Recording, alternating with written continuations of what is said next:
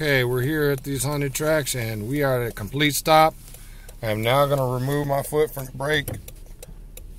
And you can see this is an incline, meaning we should be going backwards. There are kids coming. And we are going forward. Ooh. Ghost tracks. he knows what we're doing. this is some eerie shit. We should stop like about here. That is some creepy shit. That's crazy.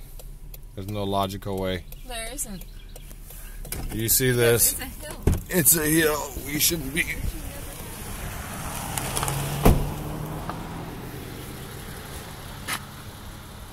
We're we just went up a hill. Evidence are there. That's absolutely crazy. Oh my god.